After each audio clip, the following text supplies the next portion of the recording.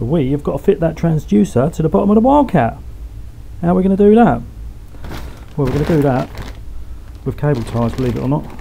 Um, because Wildcat, in their infinite wisdom, they have not put any um, well nuts so you can uh, you can bolt the uh, transducer on. So you really have to pierce the hull of the kayak, making it you know compromising the, the water tightness of it. So yeah, we're going to do it with cable ties, and uh, I'll show you how.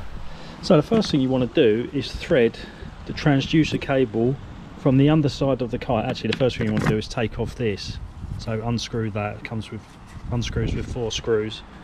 Um, stainless steel little pan head screws to take that off and then uh, obviously you've then got this recess bit sitting there nicely for your transducer to sit in but you need to thread your cable through first so thread it through like I've done there. You choose to do this end is up to you. Um, at the moment as a temporary thing I've just literally got it going into the hatch and it, it's kind of it's sealed everything's watertight in the hatch uh, the the excess cable stays inside the hatch and then gets plugged into the fish finder there so that gets pulled through which is good. You then need enough slack left to do this. You've then got your transducer. So your transducer wants to be mounted like that yeah? So it's sending a pulse down like that.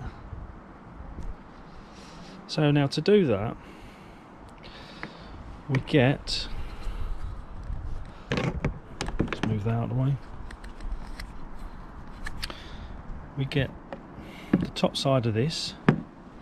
This is the underside so that's essentially the bottom of the, the kayak which is flush with here all round here. So this is the underside. So you then place place the transducer on there. I'm going to move this because I do need to go get some cable ties so you then have these cable ties which are from Screwfix, are quite strong ones, 4.5 by 300s. Uh, I'll put a link in the description. Then have your transducer sitting on top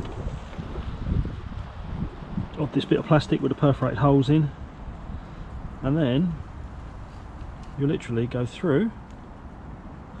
Actually do it up there.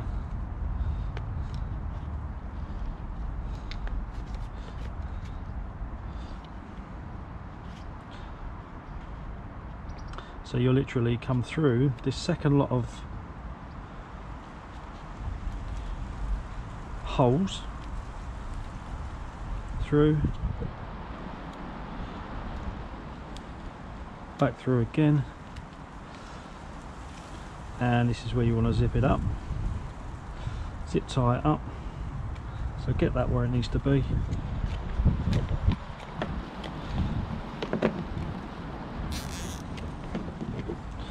And literally just get that in there. So it's nice and tight, a bit fiddly. Zip tie that down so that's nice and tight so that's kind of where it's going to sit yeah? It's not secure like that so we need another zip tie. So same principle again. Have the connecting end this side. Go through. Back up.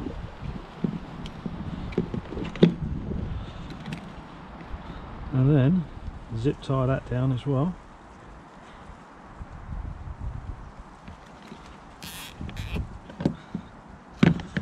and that's really secure. It's not going anywhere. So it's nice and tight it's nice and secure. Um, transducer doesn't move anywhere. It's sitting inside that recess of the uh, kayak.